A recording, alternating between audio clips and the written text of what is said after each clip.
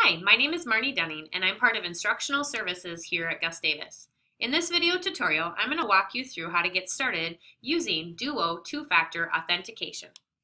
Two-factor authentication adds an extra layer of security to your Gustavus account. In addition to your password, you will need either a mobile device, a hardware token or a fob, or your office phone to verify your identity when logging into your account. To show you an example of what the two-factor authentication looks like, I'm going to go ahead and log into my Gustavus account on the Gustavus webpage. After I type in my username and my password,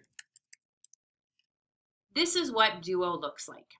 I have it set up to automatically send me a push to my cell phone, but you can choose your options here in the enrollment process. What happens on my screen is I get a notification allowing me to approve or disapprove this login.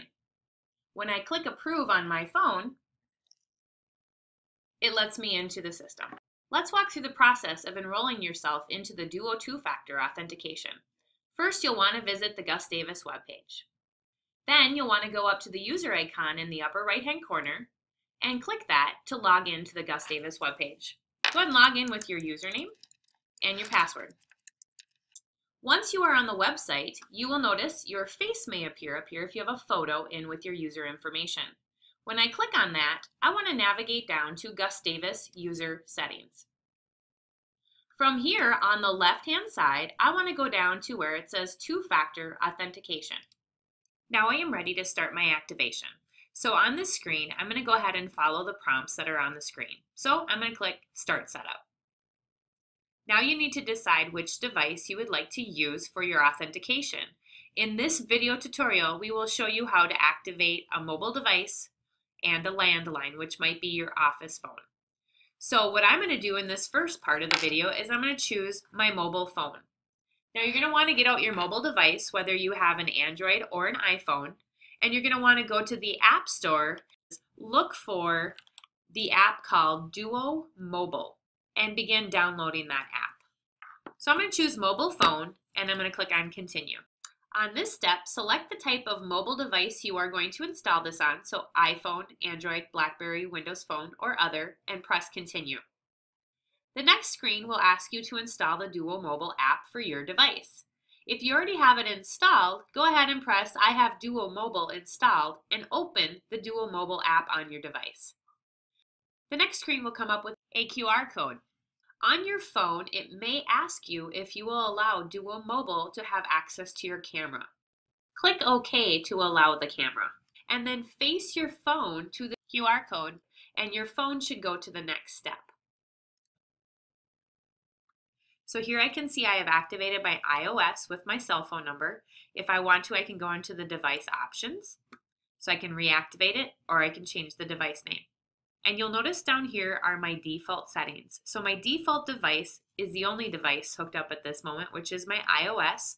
And when I log in, I can choose to have it ask me for an authentication method, automatically send me a push, or automatically call the device. If you have a preference one way or the other, you can select it. Otherwise, you can choose to have it ask. I'm going to go ahead and add another device, and this time I'm going to uh, add in my office telephone number. So I'm going to click on Add Another Device. I'm going to choose Landline, and I'm going to click on Continue. So this one I put in my office phone.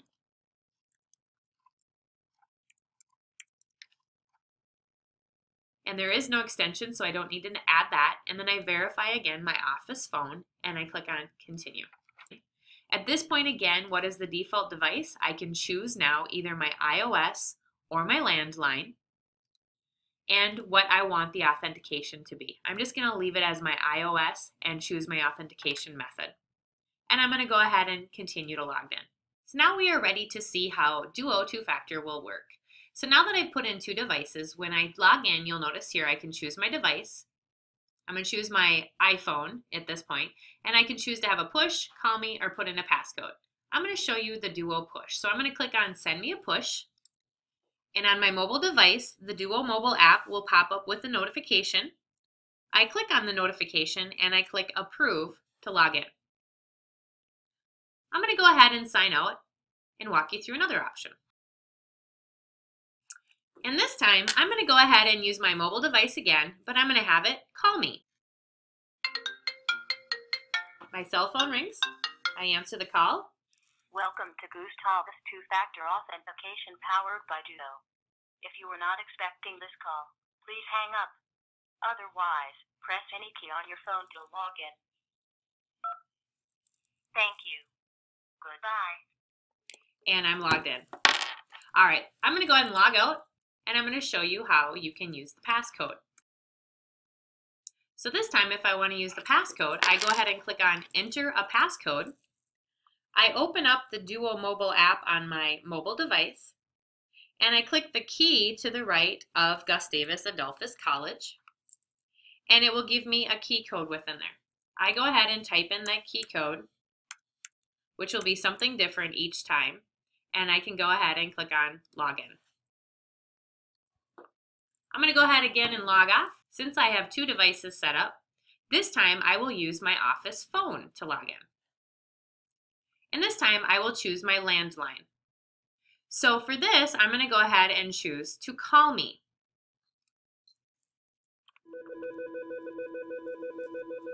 My office phone will ring, and much like the message it gave me on my cell phone, I listen to the message and I push any button to continue logging in.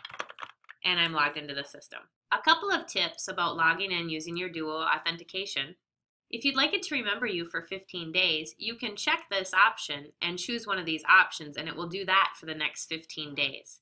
Just remember to choose the correct device and the right option you'd like and it will continue doing that for 15 days. Other options that you can change is once you've gotten into the system, you can also go up to your user information icon and go to Gustavus user settings. And then when you click on two-factor authentication, you can change your options in here as well. So I can authenticate with a push to my cell phone first. And then I can add in any more devices or change my default and my default login method if I want to. If you should have any questions, please contact the GTS helpline at 507-993-6111 or at helpline at gustavus.edu. Thanks so much.